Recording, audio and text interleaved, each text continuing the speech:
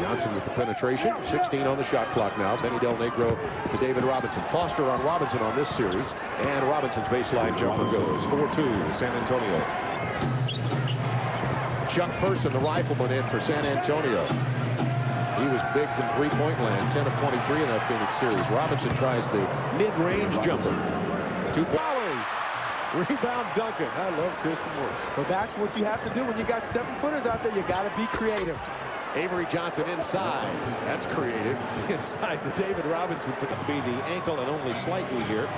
Had eight points and kind of keyed the run for the Utah Jazz. Robinson inside, and he gets the ball and one.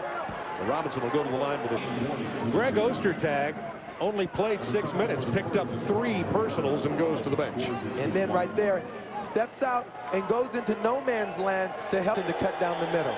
David's numbers in the first round, 20.3 and 16, had 21 rebounds a game. Seven-game series between two evenly matched teams, even though Utah won 3 to one in the regular season in the series inside David Robinson. And Robinson starting to score a bit more now. He, he has 11 now as he slid inside. Herrera picked up the first one there. Now watch Robinson. Give him a little fake there and the quickness sliding baseline. Oh, he's so smooth when he's moving like that. His move on the baseline and then rolled with the offense to stay right in it. He's got his nice hands in there, but watch his knees. He always bends his knees and shoots it with his legs. Keith has it blocked.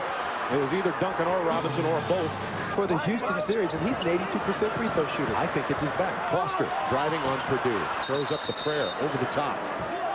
It'll be Spurs ball. Jazz. Malone posting against Perdue. Del Negro got a hand on it, and then Robinson blocked it. Perdue got the rebound. Houston, but Jerry Sloan says before the game, a lot of people were trying to make him player of the game. Heck, he's fouls in seven minutes. And back to the Pine. One Western Simmons. Malone thought about the shot. Del Negro closed him out fast. Shandon Anderson had it inside, handed it to Carr. Shots blocked. Yet off. She's into a novel. I guess it's the veteran wife in an NBA. She just has to roll with. Might be too quick for Del Negro. Vinny, good defense there. Speaking of too quick, Karl hard to the hoop. Offensive foul on Malone. And David Robinson standing inside defensively on the backline rotation as he blasts by Tim Duncan. That chance to give the Spurs the lead. Because he's not as good at taking it off the dribble. That's Duncan. not what they wanted. Missed it. Rebound. Bryon Russell.